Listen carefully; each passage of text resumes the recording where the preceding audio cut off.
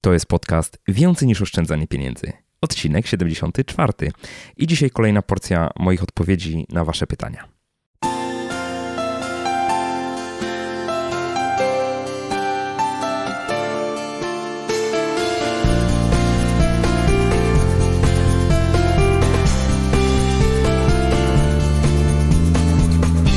Cześć, dzień dobry. Witam Cię w 74. odcinku podcastu Więcej niż oszczędzanie pieniędzy.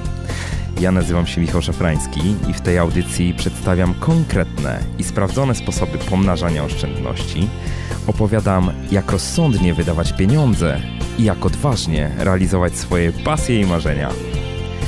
Jeśli tylko szukasz odrobiny stabilizacji finansowej i emocjonalnej w swoim życiu, to ten podcast jest dla Ciebie.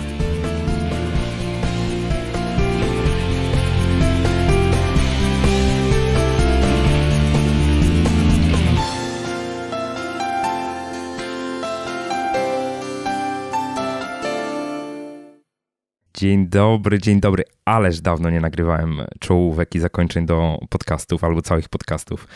Chyba ze dwa tygodnie już minęły, albo nawet trzy tygodnie minęły od czasu ostatniego nagrania. A dzisiaj y, trzecia już część mm, wystąpienia, w zasadzie sesji pytań i odpowiedzi z y, cyklu spotkań Yop Live, Yop Live Tour. E, dzisiaj odpowiedzi z Katowic i z Lublina i zostanie nam jeszcze jedna część, e, którą opublikuję za parę tygodni. To będą odpowiedzi ze spotkania w Warszawie. Jedną taką refleksję mam, nie będę przedłużał tu na początku, na końcu wam parę słów dopowiem, ale taką jedną refleksję mam, że pioruńsko fajnie jest się oderwać na chwilę chociażby od pisania książki. To jest taki temat, który mnie pochłania po prostu w całości w tej chwili ale z drugiej strony też nie chcę się odrywać od tego zbyt często. Nie ma, jak widzicie, ci, którzy oglądali sesję Periscope, e, czyli nagrania czy transmisję na żywo z nagrywania mm, tych odcinków podcastów, od jakiegoś czasu nie mają takiej możliwości. Nie nagrywam, nie pokazuję Periscope. Dlaczego? No bo walczę w tej chwili o każdą godzinę autentycznie i problemem, można powiedzieć, w zasadzie nie jest sam czas, tylko właśnie to, że przełączanie się między realizacją różnych zadań i różnych kontekstów, w których y, się odnajduję, po prostu mnie pioruńsko wybija.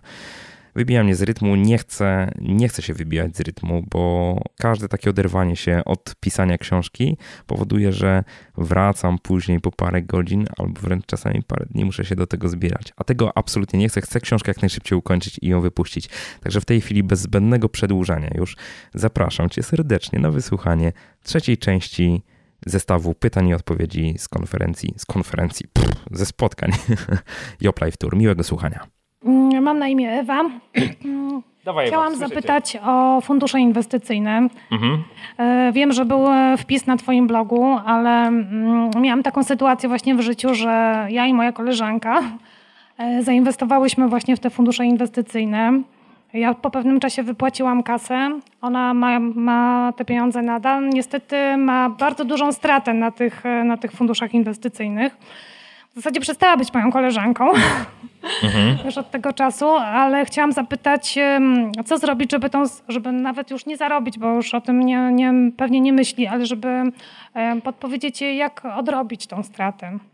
Czy Dobra. jest to w ogóle możliwe? Powiem Ci tak, to jest bardzo trudny temat i case by case, ale ja jestem zwolennikiem ucinania strat.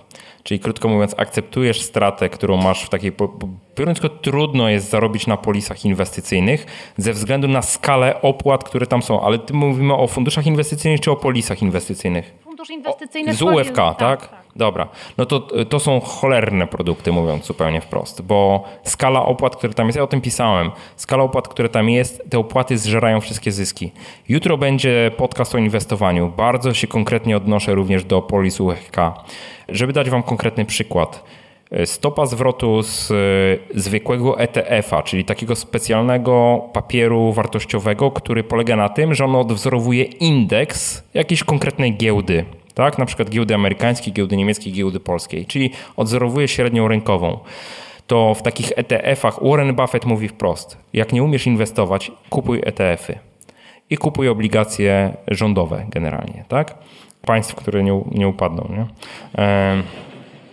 Mówiłem o ETF-ach, czyli tak, porównując ETF na S&P, czyli na giełdzie amerykańskiej, jego stopę zwrotu w okresie ostatnich trzech lat. Wiadomo, że mamy sytuację hossy tak, na giełdzie amerykańskiej, która się ciągnie od kilku lat, ładnych kilku lat to stopa zwrotu w ciągu ostatnich trzech lat takiego ETF-a to jest 83% chyba. Przez 3 lata, tak? E, teraz tak, stopa zwrotu, tylko tak, yy, dobra, już nie będę komplikował. Jutro to jest szczegółowo omówione w podcaście.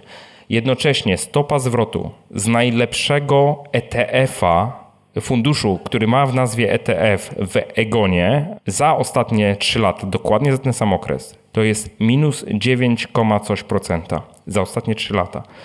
Możecie sobie powiedzieć tak, e, mała strata, 3% rocznie to jest do łyknięcia, nie? Ale jak się porówna ze skalą zysków z głupiego ETF-a na giełdzie amerykańskiej, to nagle się okazuje, że po prostu gigantyczne pieniądze zostały zjedzone gdzieś po drodze przez fundusz inwestycyjny, który zarządza danym funduszem i przez ubezpieczyciela, który opakowuje nam to w policję UFK i łaskawie pobiera opłatę, yy, znaczy prowizję za to, że umożliwi nam inwestowanie za jego pośrednictwem. Co więcej, prowizję płacimy bez względu na to, czy zarabiamy, czy tracimy. Tak? Czyli ubezpieczyciel, fundusz inwestycyjny zabierze nam część kwoty kapitału, który tam mamy, co rok po prostu odzwierciedli ją w cenie jednostki. Nie? I to jest, y, to jest generalnie duży problem przy inwestowaniu, czyli wszelkie opłaty, które są po drodze. Ja inwestuję tylko w taki sposób, gdzie tych pośredników się eliminuje albo minimalizuje się mm, ponoszone koszty. Koszty na ETF-ie za zarządzanie to są 0,25% rocznie. Koszty w funduszu inwestycyjnym aktywnie zarządzanym na rynku polskim, to zależy się od funduszu, potrafią dobijać do 4%, tak?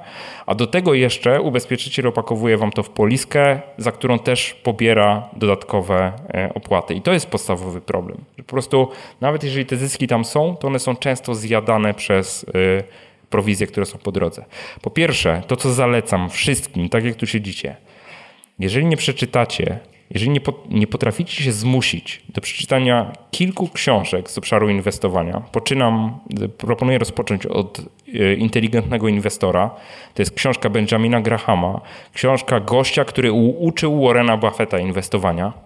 Czyli książka, która można powiedzieć, akcja książki kończy się chyba w 1973 roku, 1973 roku.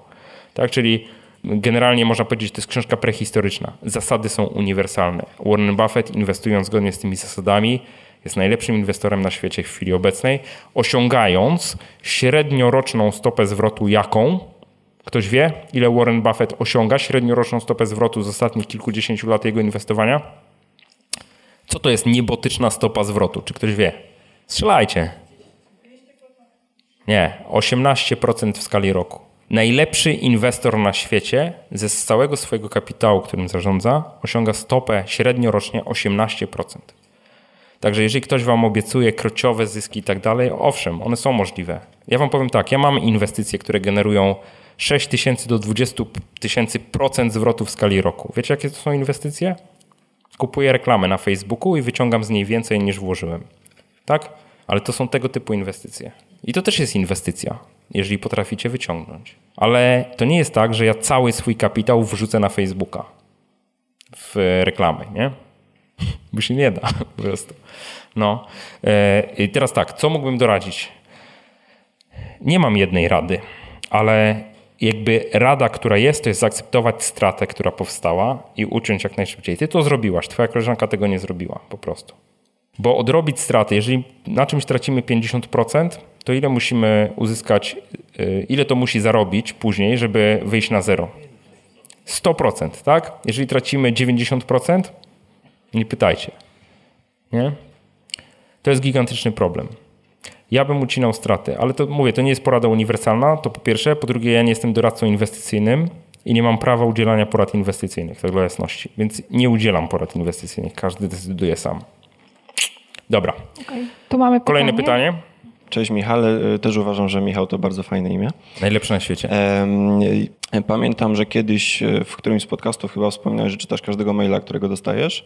Prawda. E, pytanie, czy to samo się dotyczy wszystkich e, komentarzy na blogu, wiadomości na Facebooku, na Twitterze i tak dalej, bo wiem, że tego masz mnóstwo i pytanie, czy faktycznie wszystko ty czytasz i moderujesz, czy nie wiem. Czy ktoś inny. Czy ktoś inny. Dobra, już mówię. Czytam wszystkie maile, czytam wszystkie komentarze na blogu, przy czym nie odpowiadam już w tej chwili na większość komentarzy na blogu i nie odpowiadam na większość maili, które otrzymuję. Wszystko czytam ja. Nie mam nikogo, kto by robił to za mnie. Moderuję komentarze też ja. Na szczęście nie mam dużo roboty. I do mojej skrzynki pocztowej nie ma nikt dostępu poza mną, więc to jest wszystko ten. Posiłkuję się czasami innymi osobami. A, piąteczka. Dzięki. E, wzajemnie. E, posiłkuję się czasami pomocą innych osób e, w różnych obszarach, ale to nie dotyczy ani komentarzy, ani poczty, ani też dostępu do na przykład skrzynki, która jest na Facebooku, tam gdzie ludzie piszą też wiadomości do mnie i tak dalej. To, to sam, ale te, tam ta sama zasada, że też nie odpowiadam każdemu. Jedynym medium, w którym w zasadzie komunikuję się systematycznie, w sensie, że staram się odpowiadać, jeżeli ktoś mnie o coś pyta, jest Twitter. Ale to jest tylko ze względu, znaczy dwa powody są. Pierwsze, że Twitter jest dosyć mało popularny w Polsce, więc niewiele pytań otrzymuję tam, mm, mówiąc zupełnie wprost. A drugi, drugi powód jest taki, że na Twitterze jest 140 znaków e, e, długość, więc mi jest łatwo to przeczytać i łatwo mi jest też konkretnie odpowiedzieć. Nie muszę się jakoś tam rozwodzić. Jakbyście zobaczyli maile, które ja dostaję, niektóre, to to są czasami naprawdę tasiemce, więc e, samo przeczytanie maila po prostu trwa. Ale czytam wszystkie. Dobra. Cześć Sabina. Cześć ja Sabina. Tak, nawiązując do tych wszystkich praktycznie pytań, mam jedno krótkie. Czy planujesz kiedykolwiek na blogu wrzucenie tematyki y, nauka inwestycji, nauka oszczędzania dla dzieciaków? Znaczy nas, rodziców, jak to przekazać? Okej, okay, to, to, y, to jest taka rzecz, która czeka. Ona czeka ze względu na to, że nie chce robić tego sam, tylko chcę zrobić to z jakimiś ekspertami, nie? Bo to, wiesz, jedno to jest przekazanie porad, a drugie to jest y, metodologia, jak to robić praktycznie, nie? Bardzo dobry był podcast, nie wiem czy słuchałeś, z Dorotą Zawadzką, z Supernianią. Słuchałeś czy nie? No, no to, to był taki jakby kamyczek, nie? I to, ja myślę, że więcej bym chciał właśnie w taki sposób robić. Wziąć jakichś ludzi, którzy są ekspertami w jakiejś tam dziedzinie, jeżeli chodzi o pracę. Tak, tak, tak. W ogóle będzie książka na ten temat. Kiedyś, jeszcze nie wiem kiedy. O, no właśnie, no właśnie. Cześć. Dzięki. Do zobaczenia i powodzenia. polecam Ci e, książkę. Jak do mnie Sabina napiszesz, to e, wyślę Ci namiar na jedną książkę, bo nie pamiętam autorki, nie pamiętam tytułu, ale mam ją gdzieś tam tą książkę. A druga książka jest napisana przez um, Rachel Cruz, to jest córka Dave'a Ramseya, czyli tego gościa tam od długów, wychodzenia z długów w Stanach i tak dalej. I to jest książka pisana wspólnie przez nią i komentowana przez Dave'a. I ta książka przedstawia w jaki sposób ojciec, który siedzi w finansach, uczył ją na różnych etapach życia no, takiego ogarnięcia finansowego właśnie. I ona też oczywiście tam, to jest książka dokładnie dla, dla rodziców, jak tam na poszczególnych etapach edukacja finansowa dzieci może wyglądać, kiedy co włączać i tak dalej, jakie elementy włączać. Tam są rzeczy, z którymi ja się, od razu powiem, że tam są rzeczy, z którymi ja się nie zgadzam, bo na przykład...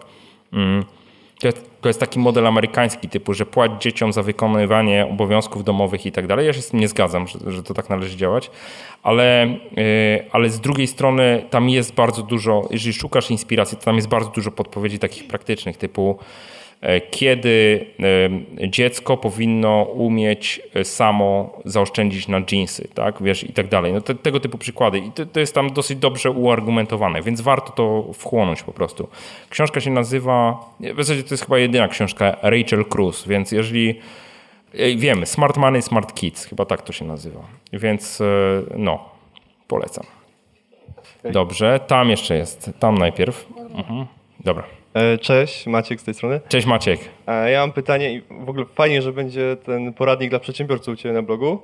E, Super. Chciałem zapytać właśnie a propos tej optymalizacji kosztów. Co sądzisz o pomyśle zakładania działalności za granicą? Wszystko zależy, znaczy powiem Ci tak, jesteśmy szczęśliwie członkiem Unii Europejskiej, tak? Mamy prawo prowadzić działalność gdziekolwiek chcemy w Unii Mamy prawo prowadzić ją też poza Unią, tak? Nikt nam nie zakaże założyć firmy gdziekolwiek, tak? Oczywiście są plusy i minusy tego wszystkiego. W szczególności zwrócę uwagę na bardzo jedną rzecz. Jako przedsiębiorcy w Polsce mamy bardzo niskie podatki. Bardzo niskie. Bo jak spojrzysz na podatki w innych krajach, to wcale nie jest tak różowo. W szczególności wiele osób ucieka do UK w tej chwili, jeżeli chodzi o firmy. Owszem, to jest dobry kierunek, ale policz sobie dobrze, do jakiego poziomu obrotów firmy ci się to opłaca. Bo jeżeli będziesz miał firmę, która generuje kilkaset tysięcy złotych rocznie, to prawdopodobnie dużo taniej ci będzie mieć ją w Polsce niż w UK. I to nie jest takie y, łatwe, proste i przyjemne. Poza tym ja na przykład zwracam bardzo uwagę na to, jaki mam dostęp do profesjonalistów w zakresie pomocy podatkowej, obsługi księgowej itd. W Polsce, no wiadomo, mam duży dostęp, nie mam bariery językowej itd., itd., itd. Przepisy, interpretacje itd. Tak to wszystko jest tutaj, e, prawo jest złożone, nazwijmy to, prawo podatkowe jest bardzo złożone, ale są ludzie, którzy to ogarniają. W kontekście tego, że jestem Polakiem, który chce mieszkać w Polsce, nie chcę być rezydentem brytyjskim i tak a jednocześnie chciałbym prowadzić firmę w Wielkiej Brytanii, to to jest nowy zestaw problemów. I niestety, pomimo tego, że w sieci masz masę informacji na ten temat, to wiele z tych informacji jest po prostu nie do końca sprawdzonych bądź nie do końca prawidłowych. Ja analizowałem wyprowadzenie, jakby scenariusz związany z wyprowadzeniem firmy na przykład do UK, analizowałem w zeszłym roku od maja do końca roku w zasadzie, tak? Znaczy inaczej, rok wcześniej zacząłem, tylko jakby to się skończyło pod koniec roku i w końcu zdecydowałem, że, że nie przenoszę. Znaczy, że nawet nie będę zakładał jakiejś tam małej firmy e, w UK, nie?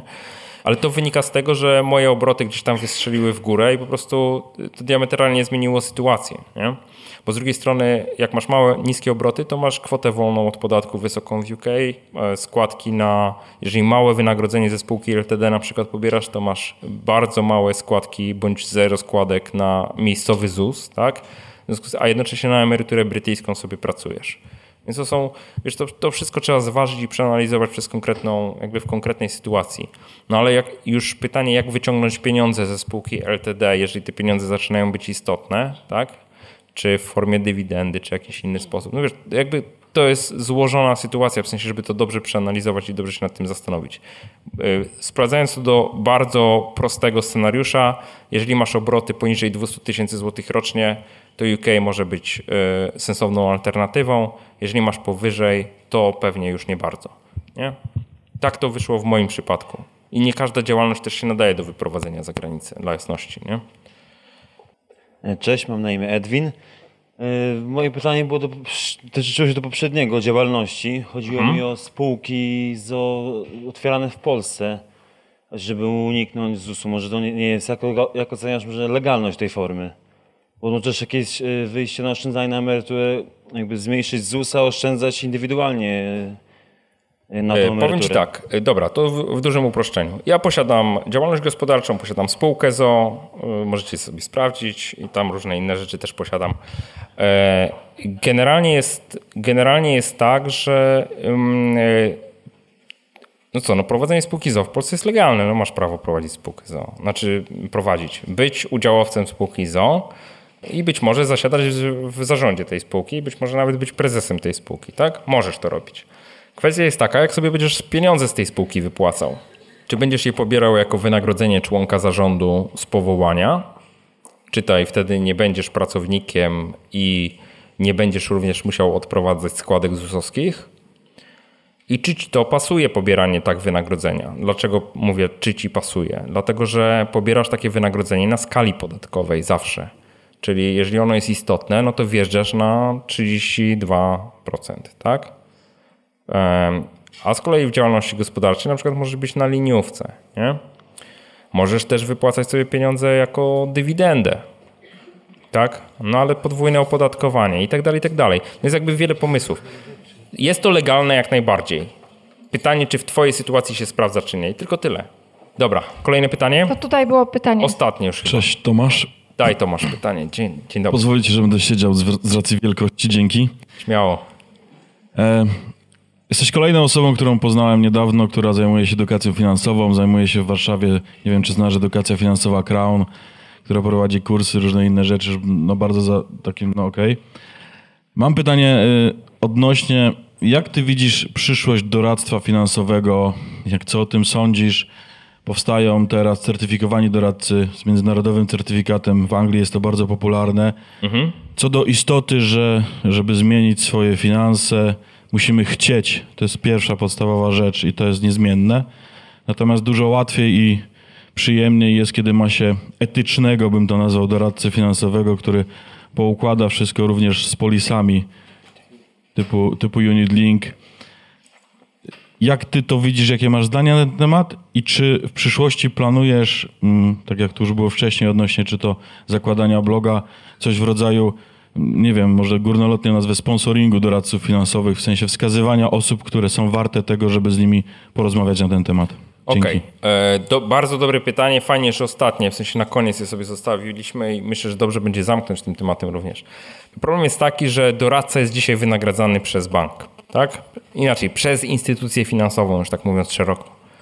E, I to jest e, sytuacja taka, która będzie zawsze problemogenna, tak? I pytanie, czy ten model da się zmienić, czy nie, tak? Żeby, do, żeby w Polsce doradcy byli wynagradzani przez klientów, a jeszcze lepiej, żeby jeżeli to są doradcy, którzy doradzają nam w obszarze inwestowania na przykład, żeby rzeczywiście byli wynagradzani w modelu success fee, że oni pobierają część e, wynagrodzenia od wypracowanych e, przez nasze inwestycje zysków, tych, które nam doradzili. E, byłbym chyba utopistą, twierdząc, że wierzę w to, że taki model zaistnieje szybko, nie? Ale to jest model, do którego należy dążyć i ja się obawiam, że to się za szybko nie zmieni niestety, że ta sytuacja, która jest, ona będzie i ona prowadzi do takich patologii jak sprzedawanie nam produktów, z których doradcy, na których doradcy więcej zarabiają po prostu, nie? Zamiast produktów, które byłyby dla nas korzystniejsze na przykład. Czyli to jest to, co ja powtarzam na swoim blogu, czasami to kodu, próbuję to kodować, że my jesteśmy dla siebie, musimy być dla siebie najlepszymi doradcami finansowymi a rolę takich doradców finansowych, o których ty mówisz, możemy ich traktować wyłącznie rzeczywiście jako, można powiedzieć, zewnętrzną opinię na temat tego, co teoretycznie powinniśmy zrobić. Nie? Ja bym wolał dzisiaj, znaczy to, to wymaga pewnej świadomości, ale ja bym wolał dzisiaj płacić doradcy, niż wiedzieć, że on jest opłacany przez bank. Tak? E, z drugiej strony myślę, że jest takie rozwiązanie pośrednie, które musieliby zaakceptować doradcy sami, żeby oni chcieli być transparentni i pokazać, na którym produkcie ile zarabiają, bo wtedy mogliby sobie zaskarbić pewną wiarygodność klienta, znaczy wiarygodność u klienta, tak?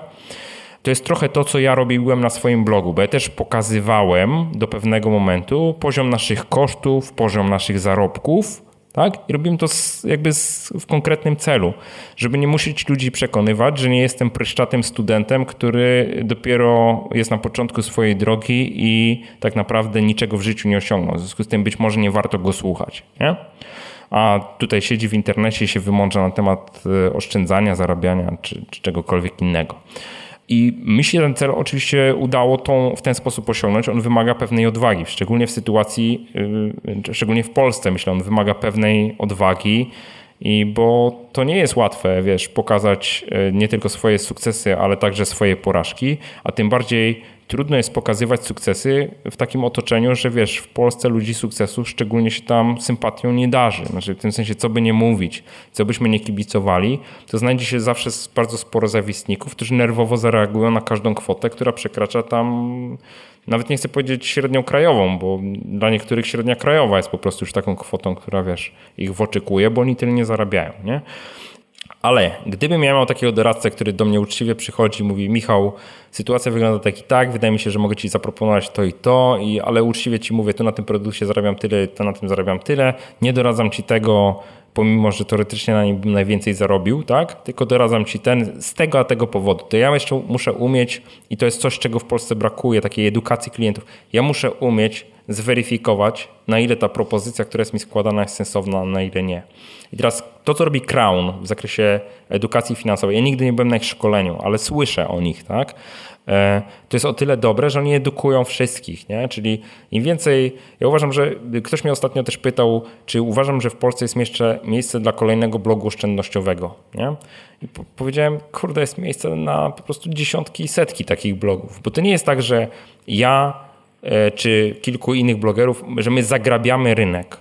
jeżeli będą wartościowe informacje w wielu miejscach, to nawet te same informacje, ale podane z perspektywy innej osoby, będą konsumowane. Dlaczego? Dlatego, że ja bym bardzo chciał na przykład przeczytać inną opinię albo 10 innych opinii w temacie, o którym ja napisałem. Zobaczyć inne spojrzenia, bo być może ja coś jakby nie mam pełnej perspektywy. Teraz im więcej osób jest zainteresowanym poprawianiem stanu swoich finansów, im więcej osób nie traktuje swoich jakby sfery finansowej jako coś, co jest e, domeną zła, nazwijmy to w ten sposób, tak? albo nie wiem, obarczone piętnem tego, że to tam bogaty to synonim złego i tak dalej, nie? to y, tym, tym lepiej będzie. Znaczy, jeżeli dla ludzi, zobaczcie, jedna rzecz, która się wydarzyła, myślę, na przestrzeni ostatnich pięciu lat i to uważam, że to jest absolutny absolutnie świetna rzecz w Polsce, to jest to, że oszczędzanie przestało być traktowane jako coś negatywnego. Tak? Bo o ile każdy z nas, pewnie tak jak siedzicie, myśli, że oszczędzanie jest ok, tak? no jesteście jakby z takim zestawem poglądów tu przyszliście, to w takim powszechnym odczuciu, jeżeli widzi się kogoś y, oszczędnego, to mu się przypina łatkę Sknera. I ja myślę, że w ciągu ostatnich pięciu lat to się zmieniło. Ja przynajmniej obserwuję taką transformację, że to nie wstyd wyjść i powiedzieć, że ja oszczędzam, jestem oszczędnym człowiekiem.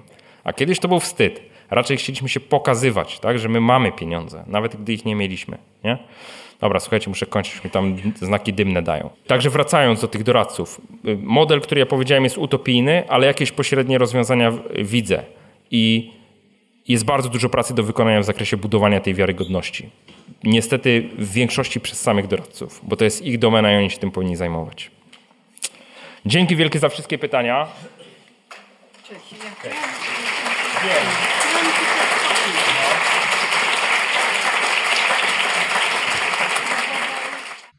To ja może o ostatni temat, czyli książka twoja. Hmm? Czemu jest wersja y, męska i żeńska? Czy to nie jest aby trik marketingowy, żeby trzeba było kupić dwie sztuki? Nie, nie, nie. Czym się książka różni? Ma... Może, może tak z grubsza, Okej, okay. książka ma dokładnie tę samą treść, czyli nie trzeba kupować dwóch książek. To jest kwestia tylko tego, że y, jedna jest pisana tak, jakbym adresował do kobiety, w sensie zwracam się tak jak do kobiety. Odmiana, nic więcej.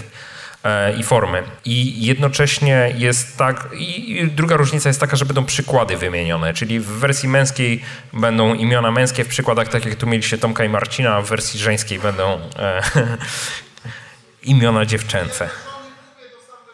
Tak, tak, tak, tak. Jak ktoś kupi dla żony, to sam może, e, może przeczytać. Ale tu zwróciłeś mi uwagę na, na ciekawą, znaczy w sensie zwróciłeś uwagę na jedną ciekawą rzecz. Muszę się zastanowić, jak zrobić dla was taką paczkę, żebyście chcieli kupować dwie, tak. Kto następne pytanie? Jest tutaj pytanie. W ogóle mam prośbę, jak, jak zadajecie pytanie, to mówcie, jak macie na imię. Tomek. Tomek. Y, Michał, mam pytanie odnośnie, y, jak już przejdziemy to po kolejne ścieżki, nauczyliśmy się, wyedukowaliśmy się, wiemy, y, jak odkładać na swoje fundusz awaryjny, mamy jakieś oszczędności, podwiększyliśmy przychody. I teraz ta kwestia inwestowania, czyli ta najtrudniejsza. Jakieś takie podstawowe kroki, które nam pozwolą, może taką, taką jak ten portfel swój dzielisz, no takie, okay, parę dobra. takich sztuczek. Dobra, to teraz y, też powiem taką zasadę, którą uważam, że jest generalną zasadą. Nie podglądajcie innych, jeżeli chodzi o inwestowanie. Mówię zupełnie poważnie, bo podglądać można Warrena Buffetta i tak usłyszycie od niego, że jeżeli nie umiecie inwestować, to najlepsze, co możecie zrobić, to kupować ETF-y, czyli jakby indeksy. To są takie specjalne papiery wartościowe, które stanowią odzwierciedlenie indeksów konkretnych giełd. Tak? Dlaczego? Dlatego, że to, co jest najważniejsze, może inaczej, najważniejsza zasada w inwestowaniu to jest redukowanie wszystkich okolicznych kosztów, bo one w bardzo y, zasadniczy sposób wpływają na waszą stopę zwrotu. Czyli jeżeli inwestujesz w funduszach inwestycyjnych, które pobierają rocznie opłatę za zarządzanie, na przykład w wysokości 2, 3, 4%, za to tylko, że ty inwestujesz za ich pośrednictwem i to jest opłata ponoszona rocznie, bez względu na to, czy ten fundusz zarabia, czy nie zarabia tak? to się okaże, że może się okazać, że te opłaty zżerają większość Twoich zysków, albo wręcz zżerają całe zyski. Czyli warto kupować inwestować w takie, znaczy jeżeli inwestujemy na rynku kapitałowym w taki sposób, żeby te opłaty minimalizować. Ma znaczenie, czy wysokość prowizji, którą pobiera biuro maklerskie to jest 0,39% przy kupnie i sprzedaży, czyli już się robi 0,8 w zasadzie prawie, tak? Czy y, to jest na przykład 0,19. To jest zasadnicza różnica, tak? Ok, dalej.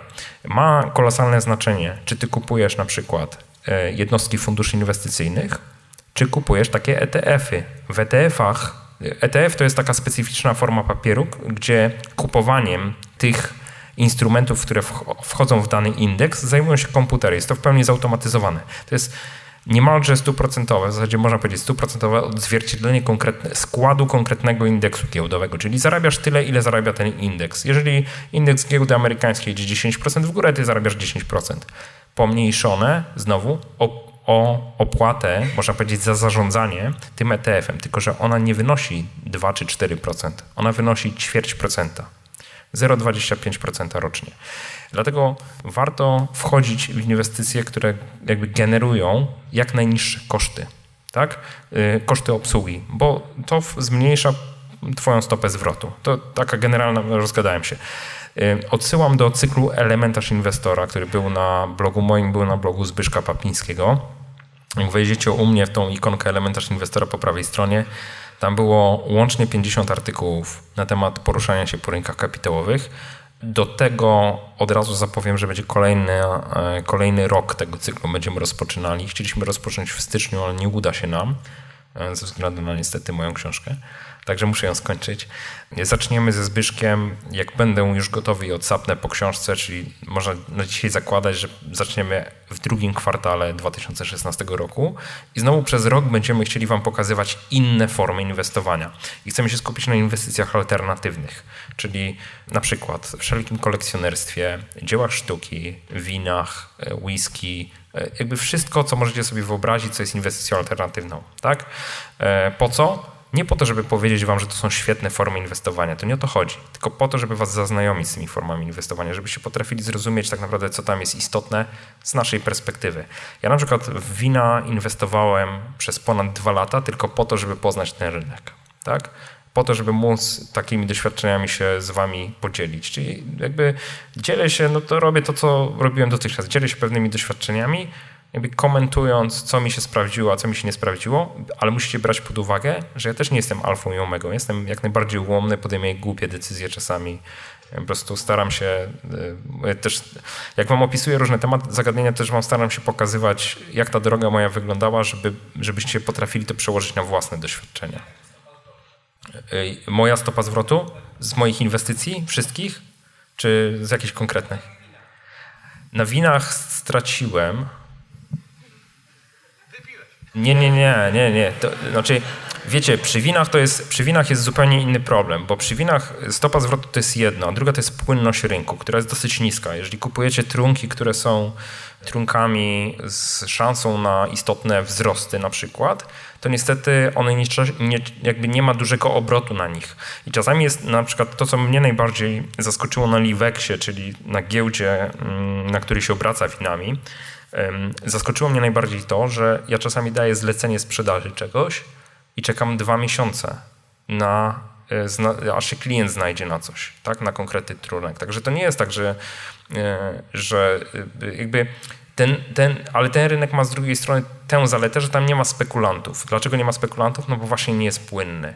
Ale ponosicie też kupę opłat. Na przykład niby wszystkie opłaty miałem zidentyfikowane wcześniej, ale jak, jak zaczynacie inwestować, to sobie uświadamiacie, jak, jak te opłaty się poszczególne składają. Bo na przykład masz, oczywiście masz prowizję za dokonanie transakcji na rynku, ale masz też opłatę za przechowywanie wina, bo to jest, kupujecie fizyczne wino. To nie jest y, jakaś tam, jakiś papier wartościowy reprezentujący na przykład kurs jakiegoś tam konkretnego wina, tylko to jest konkretna butelka czy konkretna skrzynka, bo kupuje się raczej skrzynki. W zasadzie na butelki nic nie kupowałem, skrzynki się kupuje. I wy musicie ponieść opłatę za magazynowanie tego wina. To nie jest tak, że możecie to wino wsadzić sobie gdzieś tam do piwniczki w domu, dlatego że nikt nie uwierzy, że wy je przechowywaliście w należytym, z należytymi parametrami, więc jest przechowywane w specjalnych magazynach. E, I do tego na przykład ponosicie również koszty ubezpieczenia tego wina, tak? jeżeli coś się wydarzy i tak dalej. Więc tych kosztów trochę tam jest. E, szeroki temat. Znaczy, ja generalnie w, minimalnie wtopiłem, ale to nie było tam mm, dużo. To jest tak, że najwyższą stopę zwrotu osiągam na inwestycjach w moją firmę i mówię zupełnie poważnie. Znaczy, absolutnie fenomenalnym dla mnie miejscem do zarabiania jest Facebook, czyli i mówię to śmiertelnie poważnie, wyciągam kilkadziesiąt tysięcy procent w skali roku z inwestycji w Facebooka. Czyli jeżeli wyrzucam pieniądze i teraz mówiąc o tym, jak te moje inwestycje na Facebooku wyglądają, na przykład promuję materiały, w których polecam wam konkretne produkty bankowe, lokaty czy konta. I mierzę, ile osób e, złożyło wniosek w banku e, po kliknięciu w reklamę na Facebooku. I mogę tylko powiedzieć, że y, powiedzmy pozyskanie klienta na Facebooku na przykład kosztuje mnie 3,5 zł, a zarabiam na nim na przykład 80 zł. Czyli jak sobie to przeliczycie jakby przez okres też, ile, kiedy płacę za reklamę, a kiedy dostaję wypłatę z firmy afiliacyjnej, to się okazuje, że to jest tam, potrafi być kilkadziesiąt tysięcy procent w skali roku.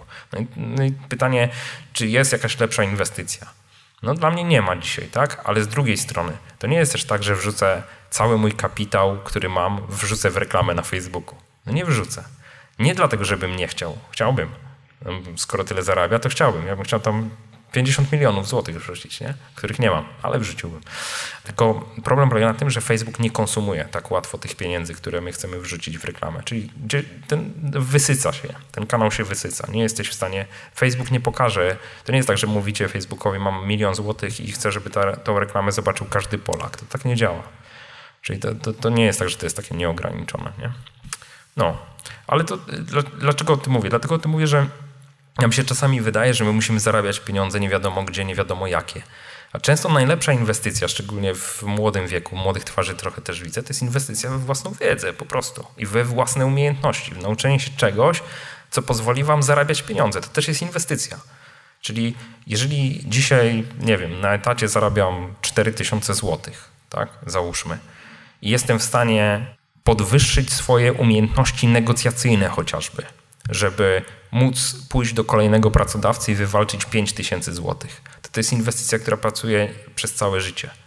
Bo ja będę potrafił, jeżeli jakby przekonam siebie samego, że potrafię skutecznie negocjować, sprzedać siebie w lepszy sposób i podnieść swoje zarobki, to za chwilę, to znaczy mówię za chwilę, to w takim dużym cudzysłowie, ale za kolejne dwa lata powiedzmy, jestem w stanie znowu wynegocjować jeszcze wyższe wynagrodzenie i jeszcze wyższe wynagrodzenie. I teraz to jest taka, mm, to jest też taka pętla, która sama się napędza, można powiedzieć, że jeżeli raz przekonacie siebie, że potraficie skutecznie coś wynegocjować, że jesteście dobrymi negocjatorami, dla siebie samych dobrymi, tak, to kolejne wasze negocjacje będą jeszcze bardziej złożone i jeszcze większy sukces prawdopodobnie osiągniecie. Nie zawsze się odnosi sukces od razu, tak? ale każdy sukces jest trampoliną do następnego sukcesu. To tak jest. I warto w takie sukcesy inwestować. Że warto się też nie bać porażek, bo to też tak jest, że my się często boimy porażki. No, na przykład czegoś nie zrobimy, bo przecież to się nie uda. Okej, okay, nie uda się, ale czegoś się nauczę. I teraz czas, który wkładam w to, żeby wynieść taką naukę, to jest moja inwestycja. I teraz jeżeli za, poświęciłem na coś czas i wyciągnąłem jakąś naukę, to teraz wykorzystam tą naukę, żeby za drugim razem tego głupiego błędu nie popełnić. Nie? No, rozgadałem się nie na temat chyba. Proszę. E, jeszcze jakieś pytania? Jak odkładać na dzieci? Czyli Jak? drobne kwoty, które wpłacamy i za 18-20 lat zostaną wyciągnięte przez potomkę. Dobra. Jak masz na imię? Andrzej. W jakim wieku masz dzieci? Noworodek. Noworodek, dobra. Syndrom nowego ojca, widzę. Pytanie, dobrze. Bo wiesz, bo w, e, w, życiu ojców jest tak, że tak na początku tak, a później tak mówią choroba, jak tu zrobić, żeby jednak nie odkładać na te dzieci. nie, żartuję oczywiście. To jest tak. Jeżeli potrafimy inwestować, to możemy samodzielnie e, próbować pomnażać te pieniądze. Ale najprostszy mechanizm, jaki jest, to jest zdecyduj się, że będziesz odkładał stałą kwotę co miesiąc, wkładał na konto oszczędnościowe, którego nie będziesz dotykał, nazwiesz je nawet konto mojego dziecka, nie wypłacać przed osiemnastką, e, jakkolwiek, tak? Zadbasz tylko o to, żeby to było konto oszczędnościowe w jakimś banku, który płaci solidne odsetki i tyle. E, I teraz warto indeksować tą kwotę o inflację, czyli w tym roku wpłacasz na przykład po 200 zł dzieciakowi, tak? Możesz wziąć w ogóle kalkulator finansowy i sobie policzyć na przykład, jeżeli weźmiesz takie, dokonasz takiego założenia, że chciałbym, żeby moje dziecko miało zapewnione, żeby miało kasę na studia w jakimś tam wieku, tak? Załóżmy, że ty fundujesz dzieciakowi studia, ok? To załóż sobie na przykład, że te studia będą kosztowały, strzelam, że będą kosztowały 80 tysięcy złotych. W sensie koszty czesnego, wiesz, i tak dalej, i tak dalej. Policz sobie, ile potrzebujesz zebrać przez 20, na przykład, nie wiem, kiedy dzieci idą na studia. 20, ile lat mają? 20, 19, nie? No to ile potrzebujesz zebrać do 19? Jaką kwotę potrzebujesz zebrać, ile, ile musisz odkładać miesięcznie, tak? Przy założeniu oprocentowania konta i będziesz wiedział, ile musisz co miesiąc odkładać. Nawet jeżeli wpłacasz, na jakąś, zdecydujesz się, że wpłacasz jakąś stałą kwotę typu 100-200 zł, indeksuj co rok o wskaźnik inflacji po prostu, żeby to, jakby, żeby to miało tą samą wartość z grubsza. Albo możesz też skorzystać z takich funduszy ING ma takie fajne rozwiązania i to mówię zupełnie poważnie. W zasadzie NN, czyli ten National Netherlanden, bo oni znowu przemalowali Towarzystwo Funduszy Inwestycyjnych swoje z powrotem na National Netherlanden. E, I oni mają takie e, fundusze, które się tam perspektywa ileś tam nazywają, tak? Zerknij na to, dlatego że one są o tyle fajne, że oni zredukowali wysokość opłaty rocznej, którą pobierają za zarządzanie. To jest jedno z pierwszych towarzystw, które zrobiło fajne takie plany, nazwijmy to systematycznego oszczędzania gdzieś tam, e, niezobowiązujące z jednej strony, a z drugiej strony niezbyt kosztowe. Więc to jest coś, co pozwala rzeczywiście e, uzbierać, e, znaczy inaczej, daje szansę na to, bo nikt ci tego nie zagwarantuje, ale daje szansę na to, żeby się zarabiało więcej niż lokata bankowa. Tak? Polecam. Jeżeli chcesz chronić pieniądze przed podatkiem belki, to możesz również kombinować z takim kierunkiem, policzysz sobie ile masz teraz lat, kiedy to dziecko będzie, no jeszcze daleko do emerytury. No bo myślałem o tym, żeby IKE, nie? Żeby wpłacać na swoje IKE na przykład e, więcej pieniędzy po to, żeby w wieku, kiedy przyjdziesz na emeryturę, wypłacić te pieniądze dla dziecka, w zasadzie przekazać mu darowizną bez podatku belki, tak? Bo z kolei darowizna wstępny, wstępny, czyli darowizna dla twojego dziecka e, z twojej strony jest, nie podlega opodatkowaniu, nie? I tyle. Przy jeżeli zgłosisz do urzędu skarbowego powyżej jakiejś tam kwoty, inaczej dziecko zgłosi, że otrzymało w pewnym tam wieku, tak? No i to są, wiesz, to są takie niuanse, że jak zaczynasz na to patrzeć, y, to musisz wiedzieć tak naprawdę, nie wystarczy wiedzieć, y, że chcesz, tylko jakby trzeba to w czasie rozplanować, zobaczyć, co się zazębia. Czy przypadkiem nie jest tak, że wiesz, gdzieś tam na przykład planujesz nie na studia, tylko na przykład na zakup pierwszego mieszkania dla, dla, dziecka, co wypadnie ileś tam lat później. Jeżeli tak, no to okej, okay. to w takim razie być może ty już będziesz na emeryturze. No dobra, to mogę zastosować tarczę podatkową. Będę w ramach własnego IKE, a dopiero później ja wypłacę te pieniądze. Już będzie te zyski będą jakby bez podatku belki, czyli jestem 19% do przodu, nie? I tak dalej, i tak dalej. Więc to są takie, mówię, w ten sposób do tego bym podszedł, nie? Na początek konto oszczędnościowe, później następny krok jakieś fundusze inwestycyjne, takie w miarę mm, niskokosztowe i, i tyle. Chyba, że masz inne umiejętności, w sensie w zakresie pomnażania. Ok? Superaśnie. Rozgaduje się. Ktoś jeszcze ma pytania? Jest tam pierwsze, tu drugie. Mhm. E, Krzysiek, e, mam pytanie. Jak wyglądałyby Twoje decyzje finansowe, gdybyś miał teraz, załóżmy, te 19-20 lat?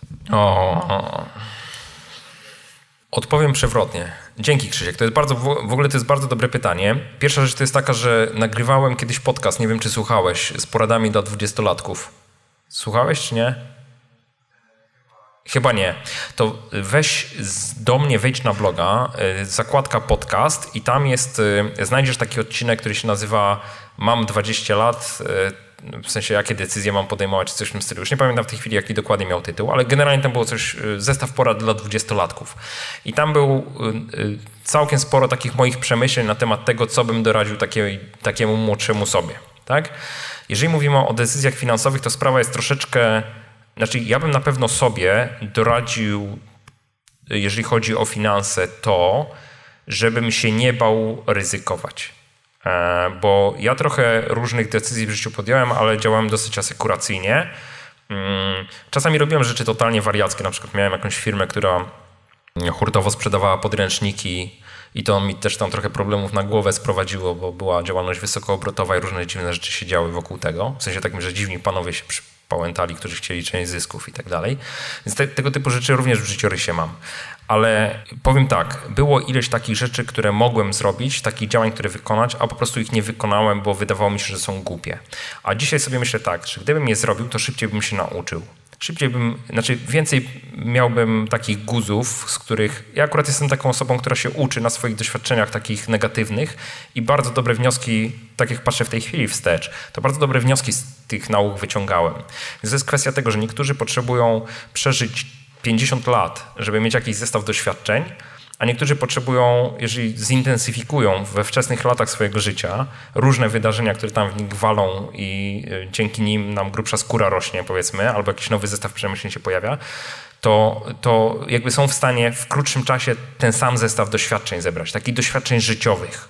I tego mi, e, tego mi brakowało. To znaczy, e, późno wszedłem na przykład na rynki kapitałowe, a mogłem wejść wcześniej Oczywiście pewnie bym sobie inne guzy ponabijał, bo to wiesz, łatwo się mówi w tej chwili, nie? Jak patrzysz wstecz, że mogłem zrobić coś tak, a nie inaczej. Ja uważam, że i tak jestem takim dosyć szczęśliwym gościem o tyle, że ileś razy w życiu podjąłem wyzwanie, które było teoretycznie totalnie abstrakcyjne. Czyli na przykład sama decyzja o tym, zobaczcie, że rzucam pracę na etacie po to, żeby poświęcić się blogowaniu gdzieś tam w okolicy czterdziestki, to z zewnątrz jest postrzegane jako coś, co jest, co może być czymś totalnie dziwnym i odjechanym. Tak? Gość, który teoretycznie wchodzi w wiek, w którym powinien maksymalizować swoje zarobki w branży, w której dotychczas funkcjonował, czyli wchodzi na następny poziom, wchodzi na następny poziom, wchodzi na następny poziom, tak? Bo to tak się mówi, że dopiero po 40 zaczynamy zarabiać prawdziwe pieniądze, nie? Bo to wtedy już nie jesteśmy tymi pracownikami, którymi szeregowymi, tylko zaczynamy być szefami szefów czasami, albo szefami po prostu większych zespołów i po prostu zaczynamy zarabiać bardziej rozsądne pieniądze z, z samego tytułu tego, że gdzieś tam wyżej w hierarchii jesteśmy. Ja to porzuciłem, ja taką ścieżkę porzuciłem i absolutnie nie żałuję. I Maciek Samcik miał na Finblogu, Maciek Samcik, który prowadzi blog subiektywnie o finansach, E, na Filmblogu powiedział taką świetną rzecz e, i ją powtórzę za nim. On powiedział, że w naszym życiu przytrafiają się różne sytuacje, które los nam przynosi. Takie w życiu mamy parę takich momentów zwrotnych, że tylko od nas zależy, czy coś zmienimy, czy nie. Tylko to oczywiście zawsze jest decyzja mniej lub bardziej ryzykowna. I on życzył wszystkim, żebyśmy się nie bali takich decyzji podejmować żebyśmy nie bali się ryzykować. I myślę, że gdybym e, mógł coś zrobić młodszemu sobie, to bym mu powiedział, stary, nie bój się ryzykować. Znaczy, jesteś na tyle cwany, inteligentny i kumaty, że nawet jak wpadniesz w duże bagno, to jakoś się z niego prędzej czy później wyciągniesz, ale będziesz bogatszy jakiś zestaw doświadczeń i rób to po prostu. I po prostu to rób. E, a nie żyj gdzieś tam w takim e, nie akceptuj tej sytuacji, która jest wokół ciebie, jako taka sytuacja, że złapałeś Pana Boga za nogi, już nic więcej nie musisz robić. Nie? No, warto ryzykować. Dzięki. Tu było pytanie jeszcze. Mhm. Cześć, Paweł jestem. Cześć, Paweł. Trochę odejdę od tematyki poprzednich pytań. Czy Twoim zdaniem jest jeszcze miejsce w polskiej blogosferze na, na coś podobnego do Twojej działalności? Tak. Dzięki. Krótko. Nie, mam rozwinąć czy nie? Znaczy, rozwinę. Jeśli możesz. Rozwinę. Mój blog jest czytany w tej chwili przez 200 tysięcy osób miesięcznie, 200 do 280 tysięcy. To zależy tam z miesiąca na miesiąc, różnie to wygląda. W Polsce mamy 38 milionów Polaków. Na moim blogu było raptem 2 miliony ludzi w tym roku. Raptem, mówię raptem, tak? Od początku roku 2 miliony unikalnych użytkowników. Ja nie uważam, że to jest dużo. Czyli jakby istnieje miejsce na to, e, żeby poza tym, wiesz, nawet jeżeli to by były te same treści, bądź bardzo zbliżone treści, to nadal jest tak, że inny styl ten ktoś będzie miał niż ja. I w inny, trochę inne tematy będzie poruszał i tak dalej, albo w innym okresie czasu. Ja na przykład bardzo bym chciał poczytać więcej blogów o takiej tematyce jak moja w Polsce.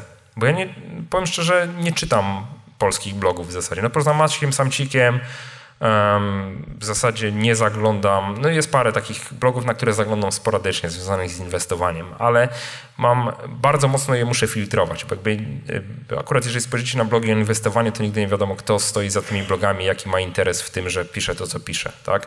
To, że będzie koniec świata albo coś tam, nie? Że w złoto trzeba inwestować koniecznie, bo prawda, kryzys walut. No jakby filtruję to wszystko, czyli próbuję wyciągać jakieś tam wnioski w oparciu o to, co czytam i powiem szczerze, dzisiaj dużo więcej czytam gdzieś za granicą, bo to jest dla mnie po prostu interesujące i jakby uważam, że y, na przykład blogi, które są w Stanach finansowe, jest dużo, właśnie jest dużo większy, szerszy przekrój y, osób, nawet zajmujących się tą samą tematyką, więc każda trochę inaczej z innego punktu widzenia to, to robi. I uważam, że w Polsce jak najbardziej jest miejsce. W ogóle w Polsce jest dużo miejsca na dobre treści. Jeżeli ktoś robi dobrą robotę, w, znaczy myślę, że sukces mojego bloga pokazuje to, że to dokładnie o to chodzi. Jak dostarczasz w miarę dobre treści, to będziesz miał czytelników, koniec. Będziesz miał po prostu czytelników i warto to robić. No. Jak spojrzycie na to, co się dzieje w tradycyjnych mediach, to po prostu jakby ta no, trywializowanie wszelkich tematów, które tam są poruszane jest po prostu gigantyczne no, i, trochę nad tym boleję. No, tyle. Kto jeszcze jakieś pytanie? Tam u góry. Na końcu widzę. Wojtek, e, takie mam pytanie, bo sam prowadzisz bloga, sam też prowadzę bloga. Mhm. E, czy inwestycja w ogóle w blogowanie, jak, jako budowanie swojej marki, budowanie swojej wartości e, w perspektywie czasu, bo większość osób, które blogują, na pewno zakładają, że nie będą zarabiały od razu na tym, ale czy w perspektywie czasu pisanie bloga jest dobrą inwestycją, po prostu budowanie marki swojej własnej?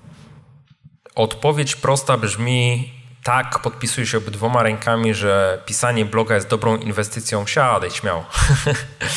że pisanie bloga jest dobrą inwestycją w e, budowę własnej marki. Jak najbardziej się pod tym podpisuję, obydwoma rękami. Wręcz zalecam wielu osobom, z którymi rozmawiam, które na przykład są ekspertami w jakiejś dziedzinie, żeby zaczęły pisać bloga, dlatego że dzięki temu też łatwiej będzie im znaleźć, jeżeli to są osoby, które pracują na etacie, to znaleźć potencjalnego kolejnego pracodawcę. E, jeżeli to są osoby, które e, prowadzą własną działalność, po prostu łatwiej znaleźć im klientów e, dlatego że dzielą się swoją wiedzą, ale też jednocześnie pokazują trochę siebie. Ja uważam, że wiesz, biznes robi się z ludźmi, którzy, których lubisz. I to, to jakby od zawsze tak to funkcjonowało według mnie i myślę, że mam nadzieję, że zawsze tak będzie funkcjonować. Czyli jeżeli jesteś w stanie, jakby twoim celem jest uwiarygodnienie siebie, uwiarygodnienie siebie również jako eksperta w jakiejś dziedzinie, specjalista w jakiejś dziedzinie, to tak, blog jest zdecydowanie dobrym pomysłem na to. No i to w zasadzie cała ta sesja pytań i odpowiedzi, trzecia już, jeszcze jedna nam została. Dzięki wielkie autentycznie dzięki wielkie za wysłuchanie tego odcinka, za poświęcenie swojego czasu. Mam nadzieję, że to jest dla Was przydatne.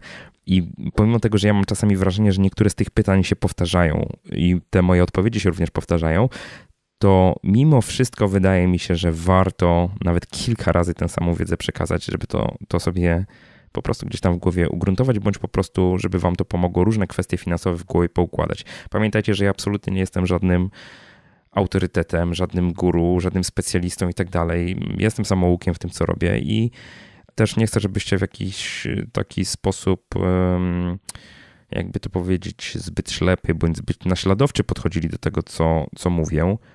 Raczej wykorzystujcie to na swoje potrzeby w taki sposób, żeby po prostu dokonać pewnej syntezy informacji, które zbieracie z różnych miejsc. Nie tylko z bloga Michała Szafrańskiego, nie tylko z podcastu, ale również z innych miejsc w internecie czy w innych mediach czy w książkach. Zdecydowanie zalecam czytanie książek. No właśnie, a propos książek, to, to jeszcze podam parę informacji z tego frontu robót, można powiedzieć, który, który jest u mnie w tej chwili. Pewnie zauważyliście, że na blogu jest cisza. I to od kilku tygodni, że w zasadzie ukazują się tylko nowe odcinki podcastów. Jeden nowy wpis opublikowałem. W zeszłym tygodniu ukazał się wpis, który no, tak dosyć zaskakująco cieszył się dużą e, oglądalnością. Ja wybrałem fragment z książki. To też jest e, ciekawe, że jakby wokół pewnego fragmentu, który publikuję w książce, gdzie staram się tłumaczyć, co jest ważne, a co nie jest ważne w tym oszczędzaniu czy zdrowym podejściu do finansów, wskazać też te miejsca, w których są pułapki, mm, pokazałem tak naprawdę, jak duże znaczenie ma to, jak, wielka, jak wielki jest odsetek, jak duży jest odsetek kwoty, który co miesiąc odkładamy. Czyli jak dużą część naszych zarobków co miesiąc odkładamy, bo to, właśnie ta różnica powoduje, że jesteśmy w stanie szybciej zbliżać się do naszej upragnionej, wymarzonej emerytury. Ja tutaj nie traktuję tej emerytury jako coś takiego, że to koniecznie musi nastąpić w tym sensie, że musicie przestać pracować zarobkowo. Chodzi o to, że to jest taki moment, w którym możecie sobie sami powiedzieć, że pracujecie wyłącznie dla przyjemności, że pieniądze przestały być ważne, bo już jesteście w stanie zapewnić sobie świetny byt z tych wszystkich zysków kapitałowych, które będziecie mieli z różnych swoich inwestycji. Nie tylko od tych pieniędzy, które leżą w banku, bo tam wiadomo, że odsetki są małe na lokatach czy na kontach oszczędnościowych, e, ale ogólnie ze wszystkich inwestycji, które będziecie posiadać. I jedna rzecz, która przy tym artykule zwróciła moją uwagę, to to, że całkiem spora część e, osób, które komentowały, one patrzyły na taki najbardziej optymistyczny przypadek. Taki przypadek, który pozwala przejść na emeryturę w najkrótszym możliwym czasie. Ja tam pokazałem przykład taki, że jeżeli będziecie w stanie żyć za 5% swoich zarobków, czyli odkładać 95% zarobków, to jesteście w stanie przejść na emeryturę już po 16 miesiącach pracy. I to się wydaje nieprawdopodobne, ale jeżeli wasze inwestycje dają średnio rocznie 4% zysku, tak, już po uwzględnieniu podatku belki i tak dalej, i tak dalej, i tak dalej, to jesteście autentycznie w stanie przejść na emeryturę już po 16 miesiącach pracy. Wydaje się nieprawdopodobne, no bo w sumie nieprawdopodobne jest, żeby żyć tylko za 5% swoich przychodów. No, trzeba by mieć bardzo, bardzo duże przychody chyba. I teraz te osoby punktowały i mówiły, nie, nie, to jest niemożliwe, nie da się tak i tak dalej. Mi nie bardzo o to chodziło. nie to było moim zamiarem, żeby pokazać ten najbardziej skrajny przykład, tylko wręcz przeciwnie. Chciałem pokazać ten drugi biegun, że jeżeli oszczędzamy tylko 5% albo tylko 10% swoich zarobków, to w zasadzie możemy zapomnieć o, o wcześniejszej emeryturze. No chyba, że potrafimy osiągać niesamowite stopy zwrotu ze swoich inwestycji. I że nawet w takim przypadku, w którym wydaje się nam, że jesteśmy dosyć oszczędni, czyli te 10, 15 może procent nawet, to może się okazać, że i tak będziemy musieli pracować prawie do śmierci. I to jest ta, ta jakby smutny wniosek, który płynie z tego artykułu i to jest coś takiego, co no chciałbym, żeby do was wszystkich dotarło i żeby ja staram się po prostu pracować w taki sposób, żeby jednak otwierać oczy i, i, pokazywać też tym osobom, które dzisiaj żyją chwilą i myślą, że są zwolnione z odpowiedzialności za swoją przyszłość, no że tak nie jest że tak nie jest po prostu. Oczywiście można liczyć na minimalną emeryturę z ZUS-u, no ale no, trzeba podchodzić do życia zdroworozsądkowo. Nie wiadomo, jaka ona będzie. Jest, znaczy, poleganie wyłącznie na koncepcji te, takiej, że będziemy otrzymywali minimalną emeryturę z ZUS-u jest po prostu wysoce ryzykowne. I pytanie, czy takie ryzyko chcecie w, w swoim życiu podejmować. Jeżeli jeszcze nie mm, wiecie, o jakim ja wpisie mówię, to bardzo zachęcam do y, jego przeczytania. Oczywiście link do tego wpisu znajdzie się w notatkach do tego odcinka pod adresem jakoszczędzaćpieniądze.pl ukośnik 07 4. I tak jak powiedziałem, ten wpis to jest taki dobry wstęp również do mojej książki. Książka będzie miała tytuł Jak zostać finansowym ninja. Już chyba wszyscy słyszeli, ale dla tych osób, który, dla których to jest pierwszy podcast, to w ogóle serdecznie witam i dziękuję, że słuchasz. Ale moja książka będzie miała tytuł Jak zostać finansowym ninja i tam w tej książce staram się zwrócić uwagę na takie rzeczy niby oczywiste, ale z drugiej strony bardzo często przez nas ignorowane albo po prostu sobie takie, takie kwestie, których my sobie nie uświadamiamy. Czyli niby wiemy, ale tak naprawdę gdzieś to tam do nas nie dociera. Chcę pokazać, y, o co tak naprawdę chodzi w całym oszczędzaniu, zarabianiu, pomnażaniu oszczędności. Chcę pokazać, gdzie jest ten zdrowy rozsądek. Dlaczego ważne jest y, z jednej strony to, żeby to robić, ale z drugiej strony, żeby się też nie dać oskubać na całej tej drodze, bo takich osób, które polują na nasze pieniądze wokół nas jest bardzo, bardzo dużo chcę pokazać taką drogę, jak w sobie z jednej strony wykształcić, a z drugiej strony wytrenować czy ugruntować takie umiejętności, które ja nazywam umiejętnościami prawdziwego finansowego ninja. Takich, takich osób, które czują się pewnie ze swoimi finansami, potrafią zarabiać pieniądze, ale też potrafią wykorzystywać już zarobione pieniądze na swoją korzyść, według swoich zasad i bez takiego ulegania zewnętrznym naciskom czy, czy, czy presji, presji otoczenia. Czyli życie zgodnie z tym, co się nam wydaje właściwe, ale jednocześnie życie mądre i takie, które no nie powoduje, że zapracowujemy się na śmierć. Rozgadałem się, oczywiście, jak zwykle, na koniec się rozgadałem. Y, jedna informacja, którą chciałem przekazać i która jest bardzo ważna dla mnie, to jest, że dopóki ta książka nie zostanie ukończona, dopóki nie zostanie ukończone może pisanie tej książki w ten sposób, to na blogu będzie autentycznie posłucha, bo książka jest w tej chwili dla mnie absolutnym priorytetem. Wiem, że wiele osób na nią czeka. Mam nadzieję, że Ty też czekasz, także życzę e, przede wszystkim cierpliwości, wyrozumiałości dla mnie, ale zapewniam, jestem święcie przekonany już w tej chwili o tym, zapewniam, że warto będzie czekać, że warto jest czekać. Także dzięki wielkie za ten wspólnie spędzony czas i tradycyjnie bardzo mocno życzę Ci skutecznego przenoszenia Twoich celów finansowych na wyższy poziom. Trzymaj się, do usłyszenia.